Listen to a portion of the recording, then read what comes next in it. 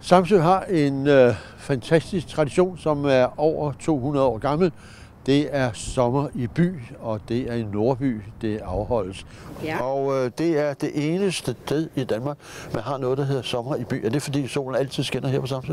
Altså det, det kunne man jo godt fristes til at tro, det er, men det er det ikke. Øh, det er faktisk en hedens tradition, som egentlig for mange, mange år siden har været tilbage i mange steder rundt om i landet. Men øh, Nordby, det er jo så det ene sted, som der har været ved med at være vedholdende og holde det stadigvæk.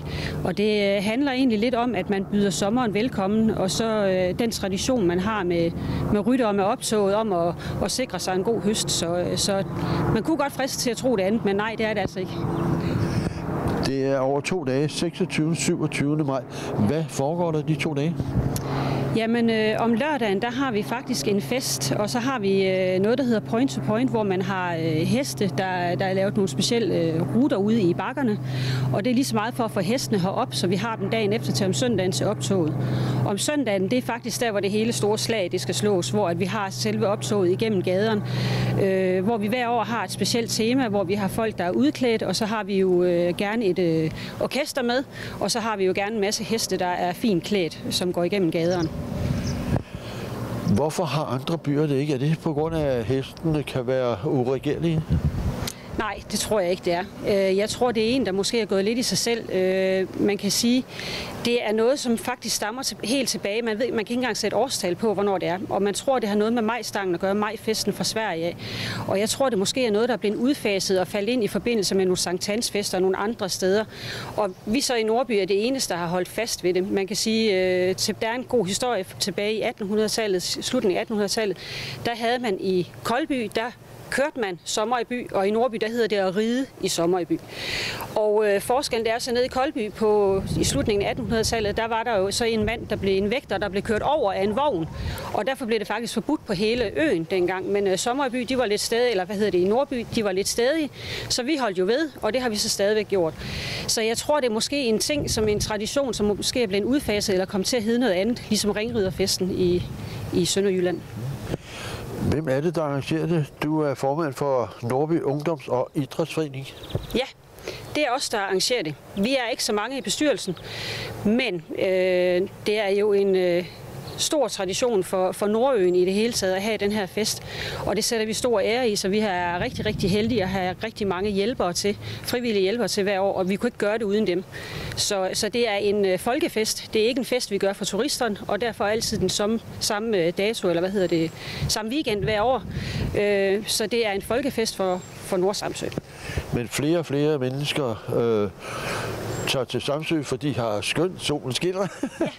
øh, hvis det er, at man synes, det er 26. 27. maj, der vil vi godt opleve noget.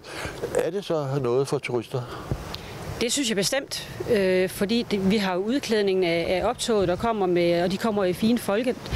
Altså nogle år har det været fine folkedragter. I år der har vi jo øh, t- gamle traditioner, det er årets tema. Og der fejrer vi jo traditionerne, så der vil folk jo være, kunne se en masse fine udklædninger, øh, som kommer igennem. Og så har vi jo musik, øh, der er liv og glade dage, vi har boder heroppe, og øh, der er fest og farver, så det synes jeg bestemt. Så står du med et øh, klæde, halseklæde. Altså det er jo sådan med traditionen, at øh, som rytterne, der har de jo øh, en stor favn imellem sig, og en favn det er en kæmpe stor trekant.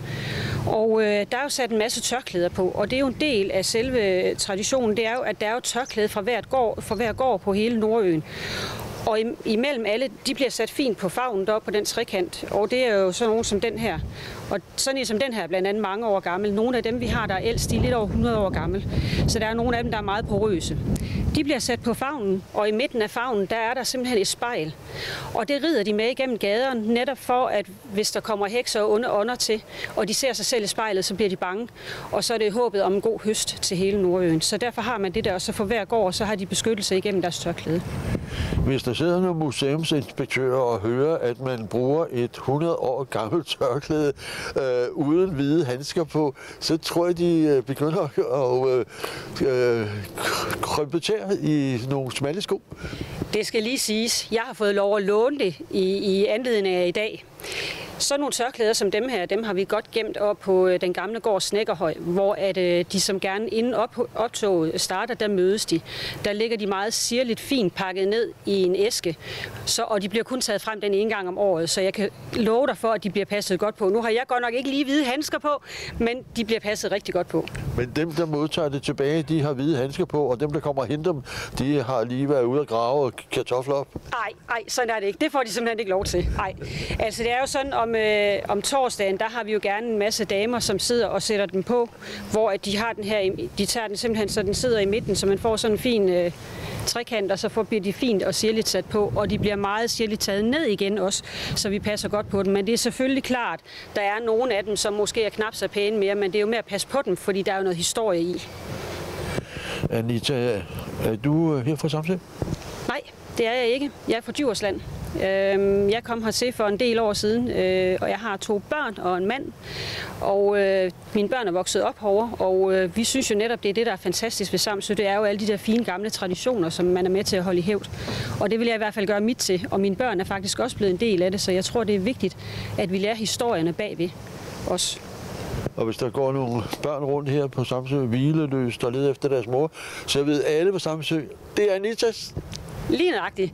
Og hvis man kommer til at stå forkert af bussen eller noget, så er der altid hjælp at hente, fordi det er, alle mennesker er jo rare og kender lidt til hinanden herovre, så der er altid hjælp at hente. Ja, helt sikkert. Er det derfor, at dig og mændene er blevet her, øh, fordi har så god en atmosfære? Bestemt. Jeg synes, der er et helt specielt fællesskab. Altså, da vi flyttede over i sin tid, man holder jo ved mange af traditionerne, som jeg sagde før. Både sådan noget som faste lavnsfester og alt muligt andet, og det kan man blive en del af, hvis man er med i, i, øh, i foreningen. Der er man med til at sætte op. Du kommer meget tættere på befolkningen. Du lærer noget om historien her bagved. Og der, man lærer for hver gang, at der er rigtig, rigtig mange gode historier at fortælle. Og det synes jeg, det er vigtigt at give videre. Men der er et lille problem, og det er, når de unge mennesker skal læse videre, så skal de over til Aarhus, øh, og så kan de komme hjem, øh, når færgen sejler en gang om ugen sammen med pensionisterne. Ja, det er rigtigt. Altså, det er jo desværre det. Vi har ikke noget universitet, vi har ikke noget gymnasie herovre. Vores børn, de skal faktisk tidligere sted.